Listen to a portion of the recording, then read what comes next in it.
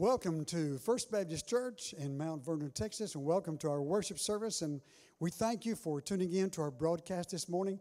This is a very special day for us as we share in this. Uh, this is the Lord's Day.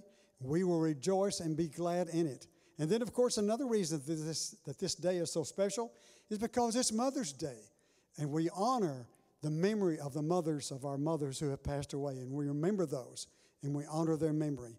And then we celebrate all the mothers who are out there listening and watching and participating in this worship service. We celebrate and honor you as on this Mother's Day.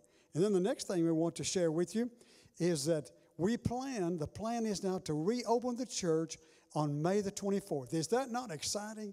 The whole staff is excited about the possibility of our being together once again on May the 24th. So mark that down. We'll be in the gym and we'll share a lot more things pertinent information with you a little later, but that's the excitement that we share, want to share with you today. Now, also, the, this is a special day in that we're going to have a, just a portion of our worship service where we celebrate and we pray for America. You, everybody knows the condition that our country's in, and we pray for America.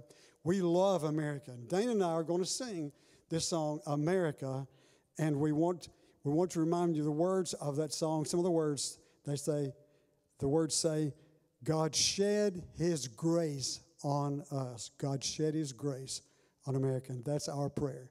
Dana, sing with me.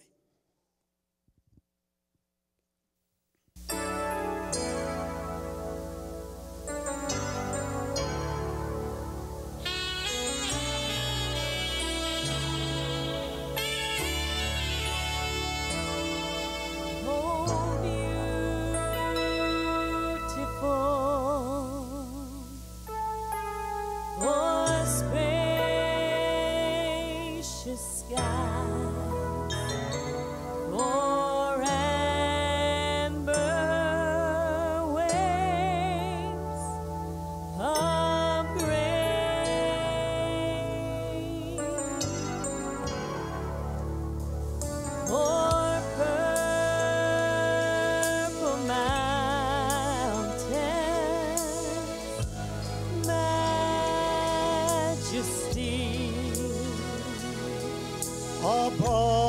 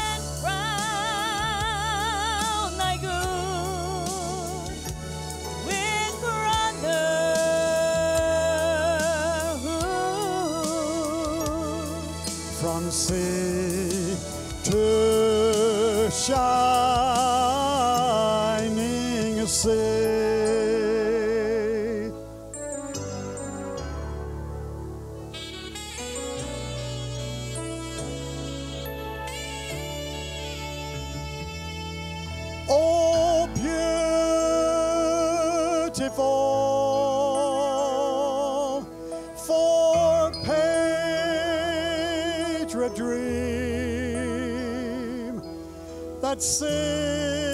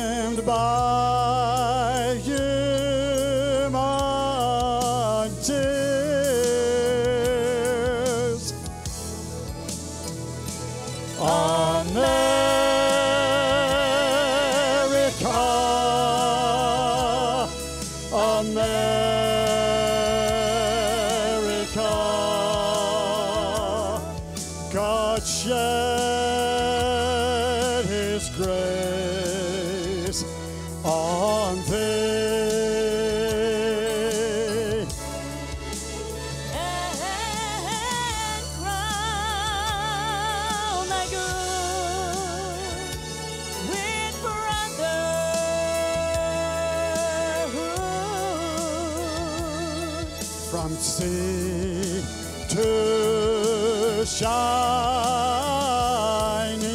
sea.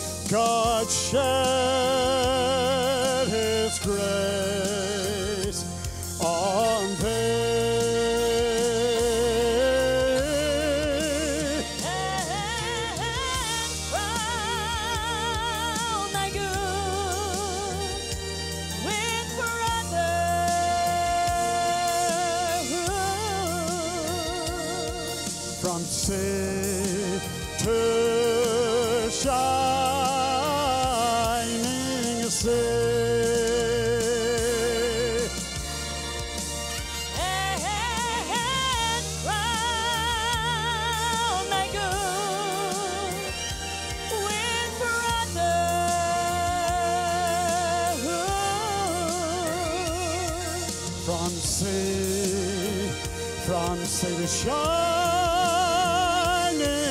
sea. America, America, America, America.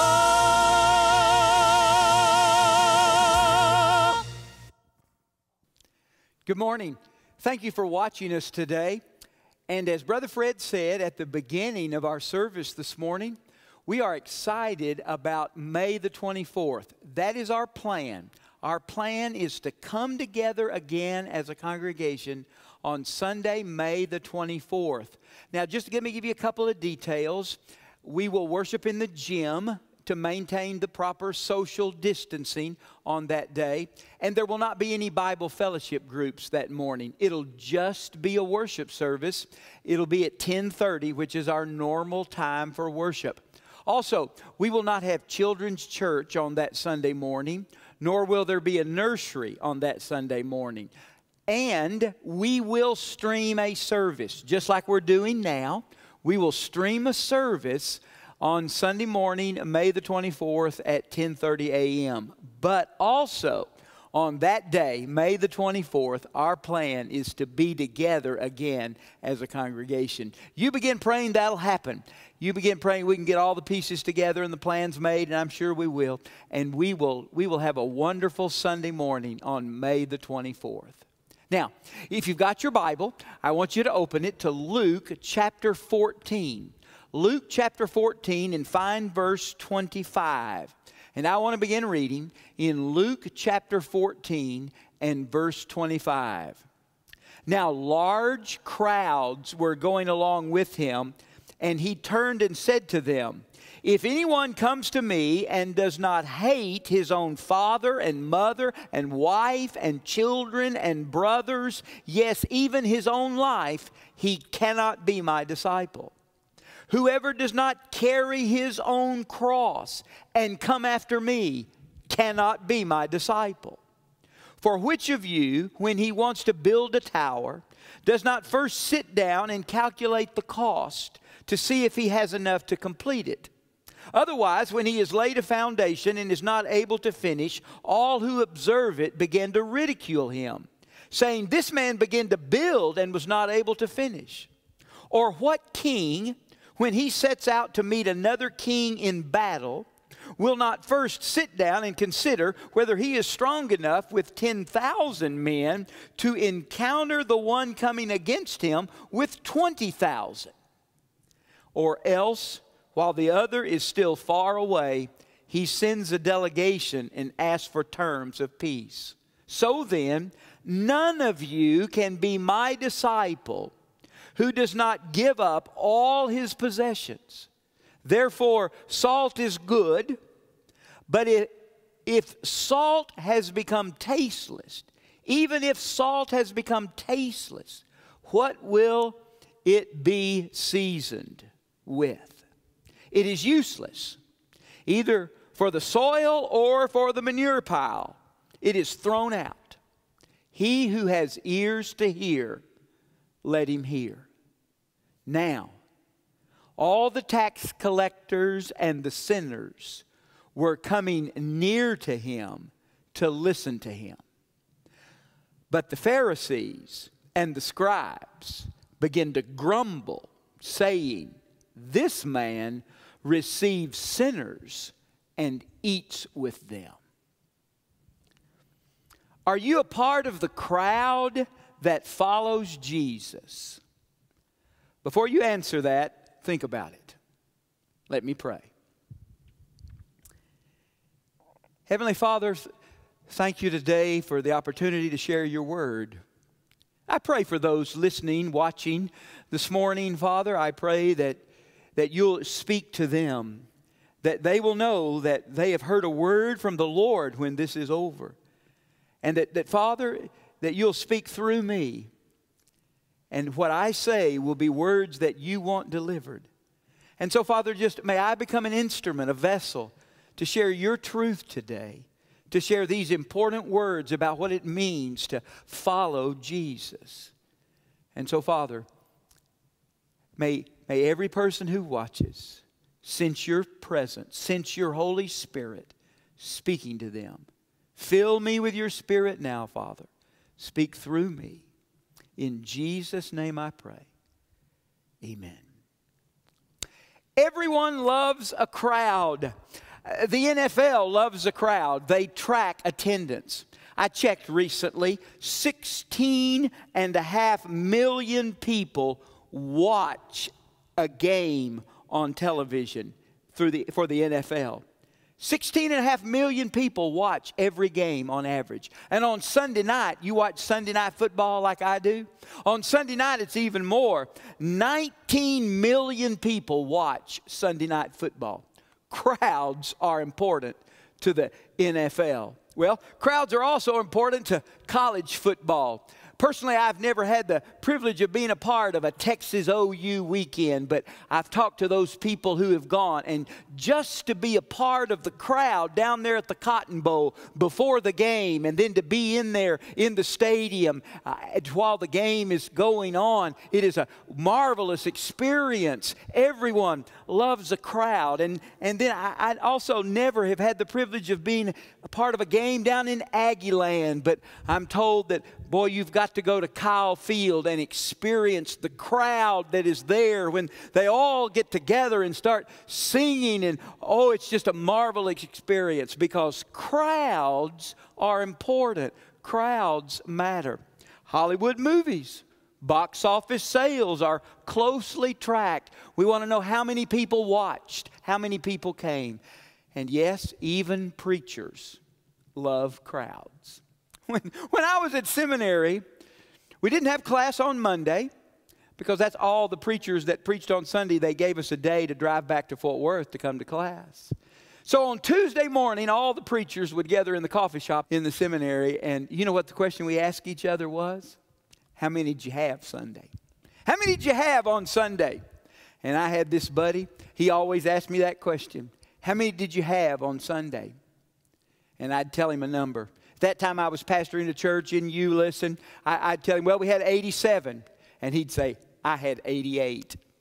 or I'd tell him, I, I, had, I had 94. He'd go, I had 95. You see, he always one up to me, or at least he wanted to. Now, I don't think he was telling the truth all the time, but, but he always one up to me. He always wanted to have one more than I did because, yes, crowds are important to preachers. But did you notice in our text today the person that is not concerned with how many? The person that is not interested in crowds? It's Jesus. Jesus is not interested in crowds. Jesus is not interested in a crowd following him.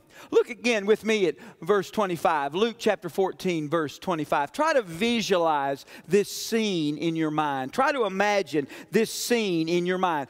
Great crowds, multitudes of people are following Jesus around. They, they are watching him perform miracles. They are hanging on his every word. They are keenly interested in what he is doing.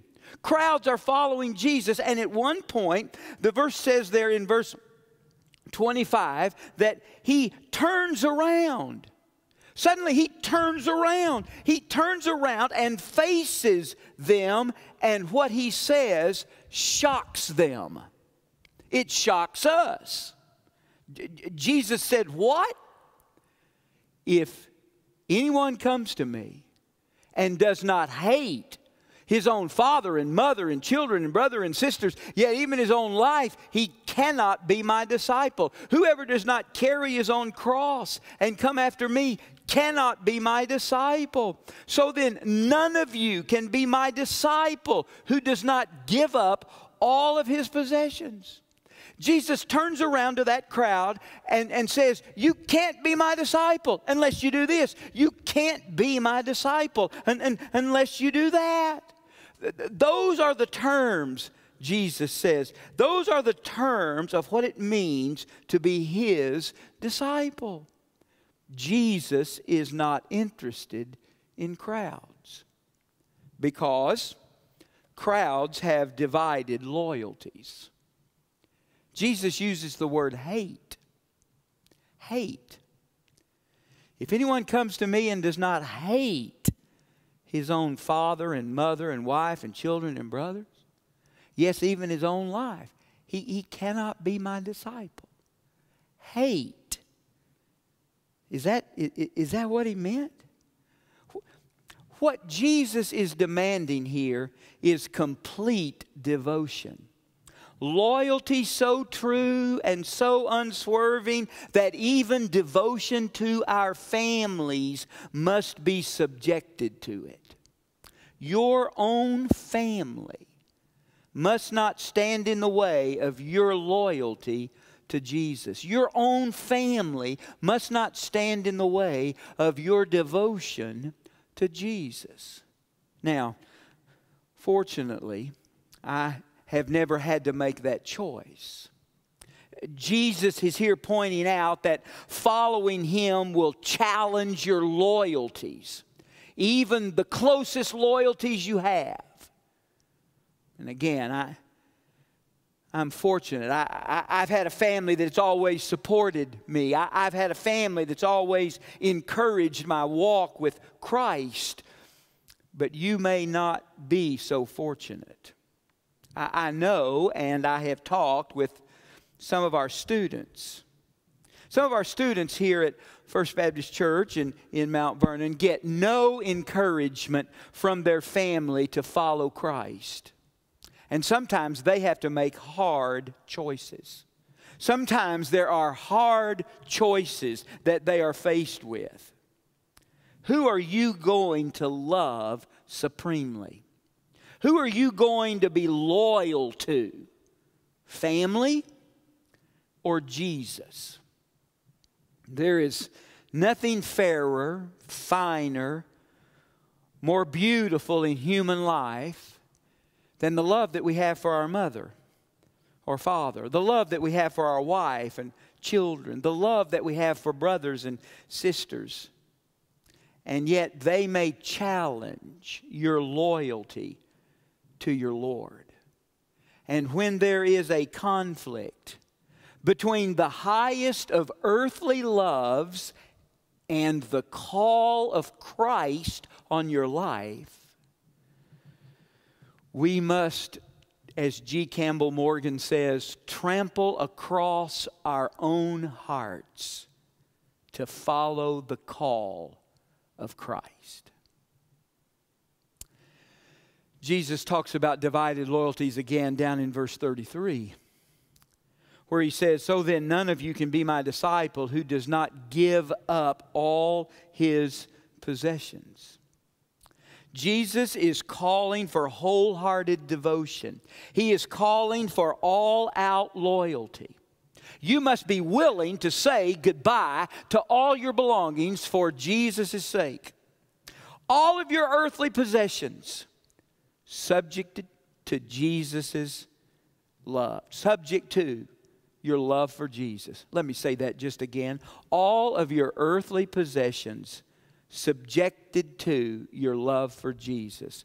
Everything you own, willing to give it up to stay loyal to Jesus. All the totality of your stuff at the disposal of Jesus. You see, the Reverend John Sammis had it right when he wrote these words that we love to sing. But we never can prove the delights of his love until all on the altar we lay. For the favor he shows and the joy he bestows are for them who will trust and obey. Trust and obey for there's no other way to be happy in Jesus but to trust and obey. Did you get that? But we never can prove the delights of His love until all on the altar we lay. Our possessions, our stuff, at the disposal of Jesus. Yes, my friend, Jesus is is not interested in crowds because crowds have divided loyalties. Do you know something else about crowds? They are self centered. Self centered. And that's why Jesus says what he does in verse 26. You, you, even, you have to hate even your own life. You cannot be my disciple unless you do. And he says in verse 27 you have to carry your own cross and come after me if you want to be my disciple. You cannot be otherwise. You cannot be my disciple unless you carry your own cross and come after me. Yeah, crowds are self centered. Now, the audience that day knew exactly what Jesus meant when he said that you must carry your own cross. Jesus himself did it, if, if you remember. After being sentenced to death by the Roman government, after being sentenced to crucifixion, they strapped that horizontal piece of the cross on the back of Jesus and, and made him carry it out to the place of execution. Well, Jesus was not the only person that the Roman government did that to. The Roman government crucified, they executed criminals every day. And so, through the streets of Jerusalem and out, out to the place of crucifixion there, almost every day in Jerusalem, you would see a man with a horizontal beam strapped to his back. He was carrying his own cross. And everybody knew that when they saw that man with that horizontal beam to the cross strapped to his back, he was a walking dead man. He was dead. He, he was going to the place of execution. That's what it means to carry your own cross. That's what it means when Jesus said that whoever does not carry his own cross, it's come and die. You see, carry your own cross is not some burden that you have to bear. It's not some affliction that you might have or, or, or trouble that you might face. No, the cross is where you die. The cross is where you empty yourself, die to self, and become alive to God. That's what Paul writes in Philippians chapter 2. Jesus, Paul says in Philippians chapter 2, Jesus emptied himself, becoming obedient to the point of death, even death on a cross. The cross means you empty yourself, you die. I like the story of the missionary couple who boarded a plane bound for China. And on the flight, they began to share with a passenger seated next to them what they were headed to do. They shared with him that they were headed to China as missionaries. They were going to work with the underground church in China. They were going to work on translating scripture into the language of the people that they were working with. And the passenger laughed at them. The passenger scoffed and, and, and said, You'll die over there. And the couple replied, Sir, we died before we got on the plane. That's it. That's it. Jesus said, Whoever does not carry his own cross and come after me cannot be my disciple. You know what I fear? Sometimes I fear that we have made it too easy to become a Christian.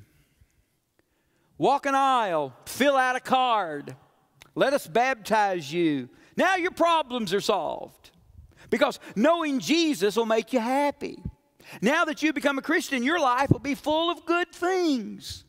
Being a Christian is really easy. You just come once a week, you sit and listen to a sermon, you sing a little song, maybe drop a few dollars in the offering plate, and then, buddy, get ready for your blessing. Too often we've, we've made it that way. Being a Christian is the secret to living a good life.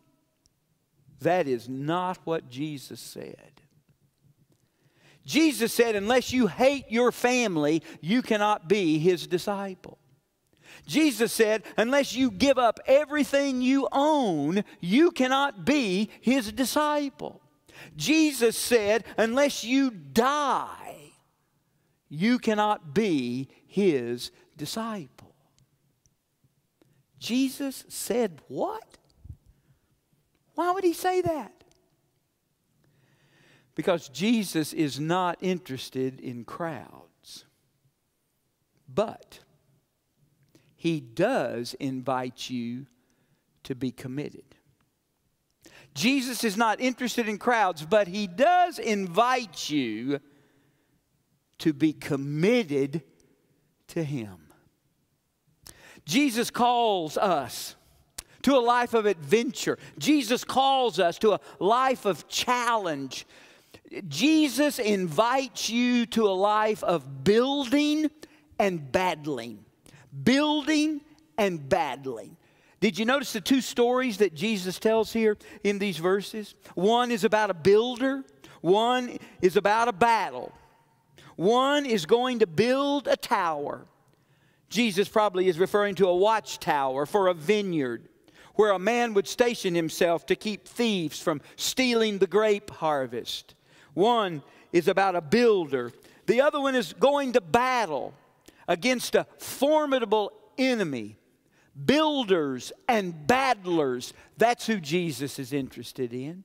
Builders and battlers. That's what followers of Jesus do. Followers of Jesus build and battle.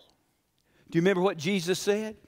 In Matthew 16, Jesus said, On this rock I will build my church, and the gates of hell shall not prevail against it. There's the battle. I'm going to build my church and the gates of hell will not prevail against it. There's the battle. In other words, Jesus saying, I, Jesus is saying, I am in the world for building and for battling. Who's with me? I am in this world to build my kingdom and to battle an enemy. Who's in?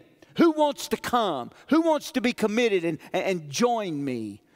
Jesus is saying, I want men and women who will stand by me until the building is done and the battle is won. Jesus is not interested in crowds, but he does invite you to be committed. Someone once said to a college professor, Hey, prof, oh, so and so tells me he was one of your students. The professor replied, Well, he may have attended my lectures, but he was not one of my students. Is that all you do? Attend Jesus lectures? Is, is, is that all you do? A sermon here, a, a, a worship service there? There are so many in the crowd and so few committed builders and battlers. Maybe the Lord is using this time of COVID 19 to sift His church. Maybe the Lord is using this time where you've been away from gathering, you've been away from gathering with members of the family of God. Maybe the Lord is using this time to separate the crowd from the committed. I'm asking you today to reevaluate your relationship to Jesus. I'm asking you today to reevaluate where you stand with Jesus. Are you a part of the crowd that follows Jesus? Remember, I asked you that as we began this sermon today. Are you a part of the crowd that follows Jesus? That's the question I ask you. Or are you a part of those who are committed to Him? So that's the question. Are you a part of the crowd that follows Jesus?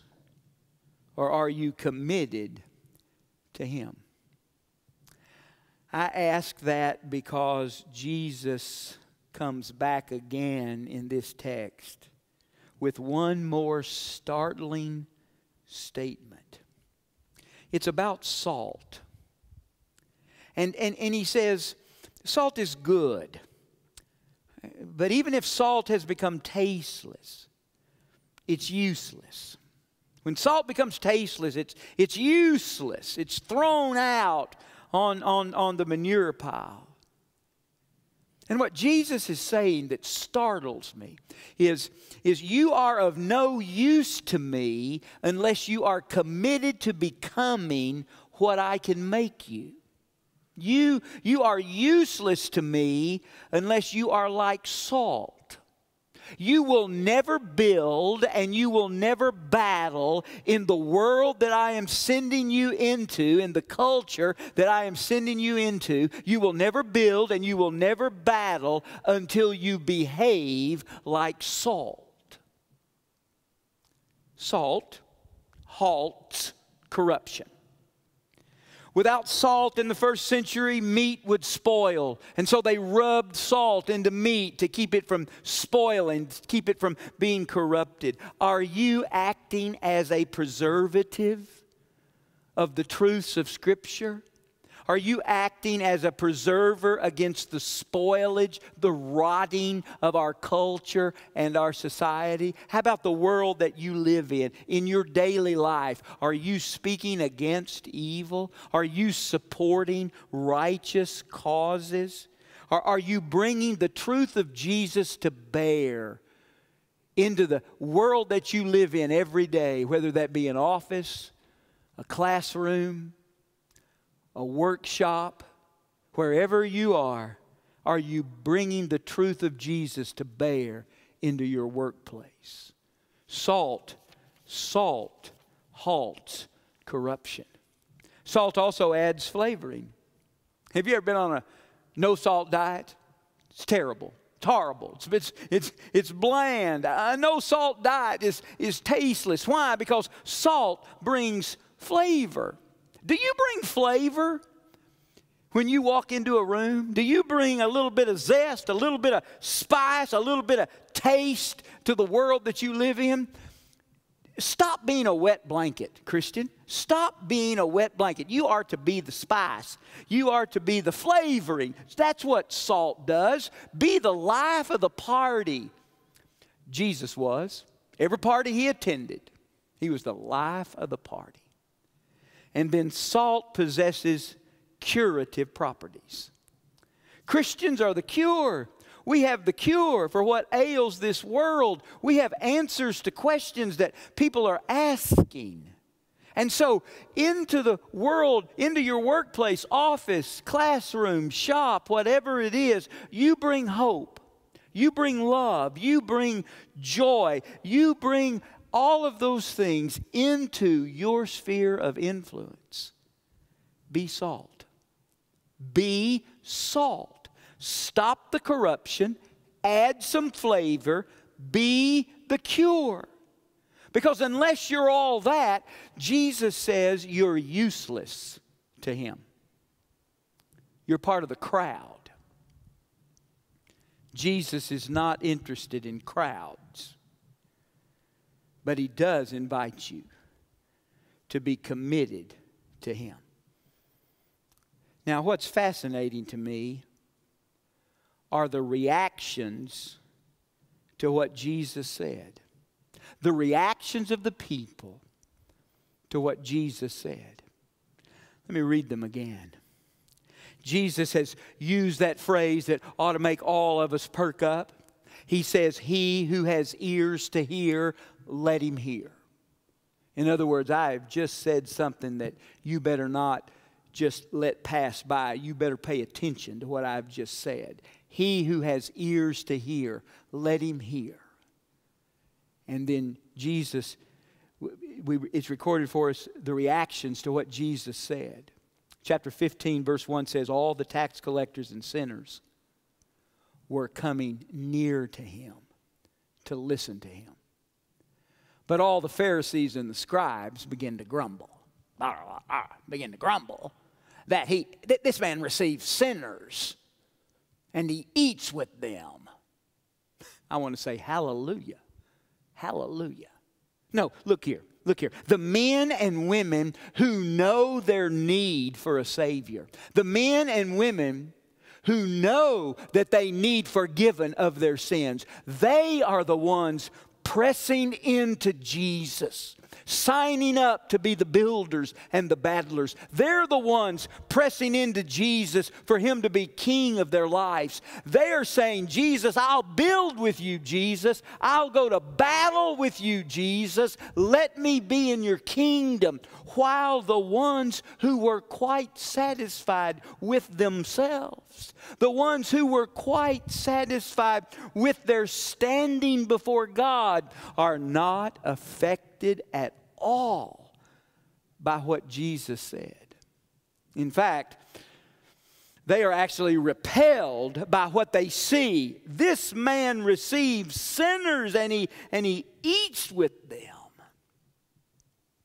Those who responded to Jesus' severe message of what it means to be a disciple, those who heard the words that make your heart and my heart tremble were the ones who know they needed Jesus. They were attracted to what they heard. They wanted on the difficult road. They wanted to battle. They wanted to build. On the other hand, the religious crowd that was there was repelled by what they heard and what they saw. Where do you stand in your relationship to Jesus? Where do you stand today in your relationship with the Lord Jesus Christ? Are, are, are you a part of the religious crowd or a committed disciple? Jesus is not interested in crowds, but he does invite you to be committed. Do you recall that in Nehemiah, the workers rebuilding the wall around Jerusalem, do you recall that they worked with one hand and they held their weapon in the other hand? Those men in Nehemiah's day worked with one hand rebuilding the wall, held their weapons in the other hand because the enemy was near. That is a picture of builders and battlers. Builders and battlers. And that's who Jesus wants to follow him. pray with me. Father, thank you today for your word. Thank you today for the challenge not to be a part of the crowd, but to be one of those committed to Christ. I pray for many to reevaluate their relationship to you through Jesus Christ. Thank you, Father, for the challenge today. It's in Jesus' name I pray. Amen. So, what'll it be, friend? Builders and battlers. That's who Jesus wants. Who's in? Who's in? You can step across that line and get in today by trusting Christ as your Savior and Lord. Where you're sitting, where you're watching, wherever it is, if in your heart, in your mind, you would repent of your sin, that just simply means acknowledge that you've done things that have broken God's laws.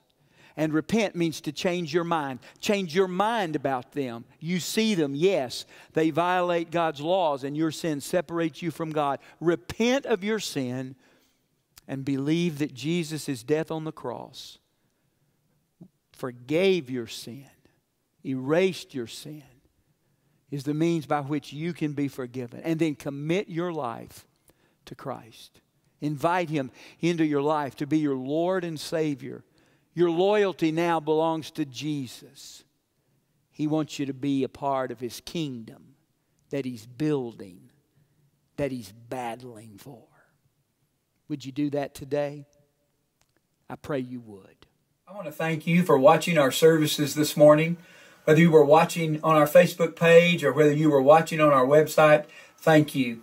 If you made a decision today to trust Jesus Christ as your Lord and Savior, or if you made any other spiritual decision today, I would love to hear about it. Please email me. My email address is pepper at fbcmv.com. It's as simple as that. P E P P E R, pepper, at fbcmv.com. Thank you again for watching our services today. If you have a prayer request, please email me as well. I'll be glad to pray for you. Or if you need any other spiritual counsel, or if you need any other assistance, please let us know here at First Baptist Church. If you don't have a church home, we would love for you to consider First Baptist Church Mount Vernon as your church home. My prayers are with you today. God's best on you every day.